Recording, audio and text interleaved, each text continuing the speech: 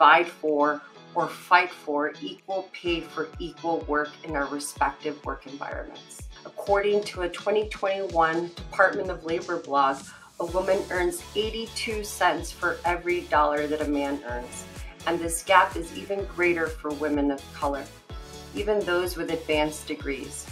Women have been fighting the wage gap for decades. Let's stop making assumptions.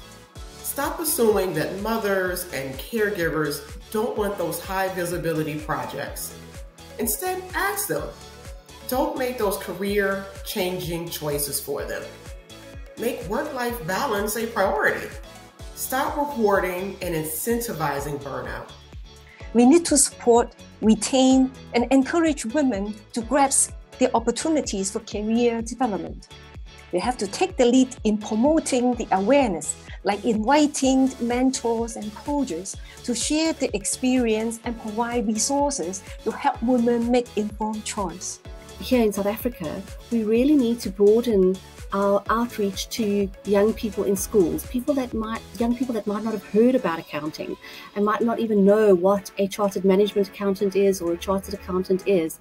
And I think that's what we need to do is we need to get out into the schools amongst the young people and we need to speak about the profession and make sure that they all have an equal opportunity to see if they could partake in this industry.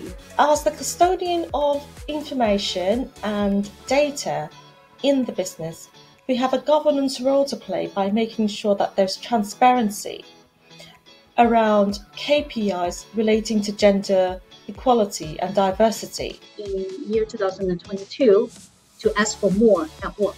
It could be a larger office, it could be more responsibilities, it could be a better rating, it could be a larger job responsibility, whatever that might be.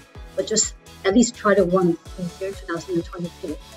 So speak and behave confidently and promote yourself.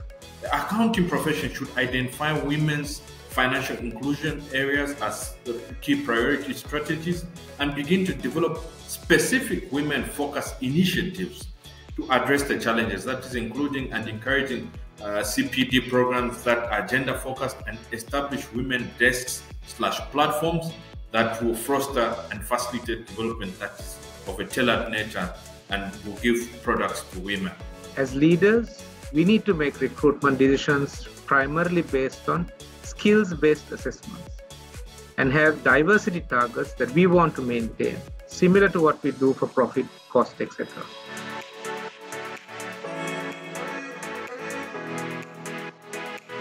I've seen a concerted effort to add more women to boards and decision making committees, including to chair positions. I've seen a clear acknowledgement that adding women to boards advances diversity of thought and brings in different experiences for better decision making. One amazing initiative that I've been involved in is the CIMA Women in Leadership Forum. So it's a group of women within the accounting profession, and we meet, we network with each other, we empower each other. And I feel like I've collaborated with some amazing, accomplished women, and this is driving that visibility out there.